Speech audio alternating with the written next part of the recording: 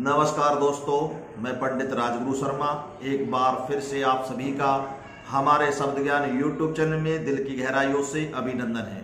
मेरे प्यारे मित्रों, मेरे प्यारे साथियों, मैं बहुत ही छोटी छोटी ज्ञानवर्धक ऑडियो वीडियो आपके सामने लेकर आता हूँ, जिससे आपका जीवन में कल्याण हो।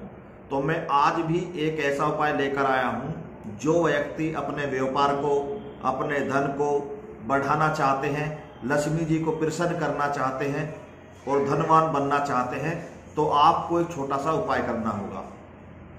लेकिन वो उपाय क्या है, इससे पहले मैं आपको बताना चाहता हूँ, यदि आपने अभी तक हमारे शब्द ज्ञान यूट्यूब चैनल को सब्सक्राइब नहीं किया है तो सबसे पहले आप हमारे शब्द ज्ञान यूट्यूब चैनल को सब्सक्राइब कर लीजिए, ताकि आपको हमारी आने वाली नई नई ज्ञानवर्धक ऑडियो वीडियो समय समय पर देखने के लिए मिलती रहे।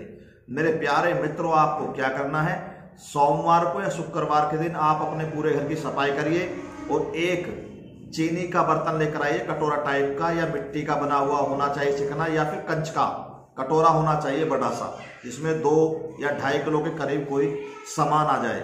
तो उसमें क्या करना है, जो आपके घर के जेवर हैं, सोने चांदी के हों या कुछ रतन हो या सिक्के हो, चांदी के या सोने के तो उनको आप उसमें कटोरे में डाल लीजिए और उसके लक्ष्मी जी के सामने ले जाकर रख दीजिए और वहाँ पूजन करिए महालक्ष्मी जी का। उसके बाद उस कटोरे को ऐसी जगह छुपा कर रखे अलवारी में या संदूक में, जहाँ उसको कोई दूसरा व्यक्ति ना देख पाए। तो ऐसा यदि आप करते हैं, सुरक्षित रखते हैं उस कटोरे को तो आपके यहाँ लक्ष्मी जी प्रसन्न होकर विराजमान हो जाएँगी। आपके व्यापार में, आपकी नौकरी में, सभी में आपको चमत्कार होता हुआ दिखाई देगा। और लक्ष्मी जी आपके घर में दिन रात धन बरसाती रहेंगी। आप बहुत जल्दी धनवान बन जाएँगे। दोस्तों, ये छोटे छोटे जो उपाय आदमी मन श्रद्धा से करता है, इससे हमारे जीवन का कल्याण हो जाता है। हर व्यक्ति का कल्याण हो जाता है। लेकिन कुछ व्यक्ति जो विश्वास रखते हैं, वो इसको करते हैं और उनको जीवन में सफलताएँ मिलती हैं।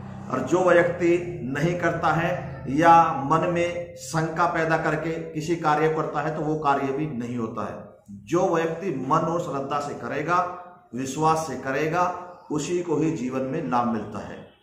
जैसा कि पुरानी कहावत है, मानो तो देव है, नहीं तो भीत का लेव है। तो सारे जो कहानियाँ हैं, जो सारी कामयाबी हैं, जो सारे उपाय हैं, जो सारे मंत्र हैं, जो सारे भगवान हैं, यदि हम इनमें विश्वास रखते हैं, आस्था रखते हैं तो हमें उसका चमत्कार देखने को मिलता है। तो दोस्तों, यदि आपको मेरी ऑडियो वीडियो पसंद आई हो तो इसे लाइक एंड शेयर करना कमेंट बॉक्स में ज़रूर लिखकर भेजना। यदि आपकी कोई और भी समस्या है तो भी आप कमेंट बॉक्स में लिखना।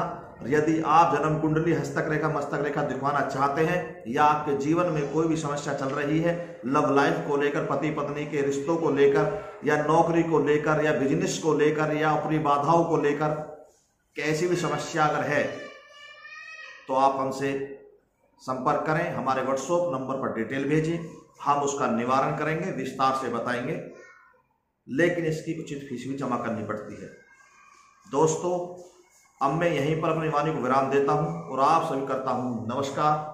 फिर मिलूँगा नई ऑडियो वीडियो के साथ, जब तक के लिए आप सभी को जय हिंद, जय भारत।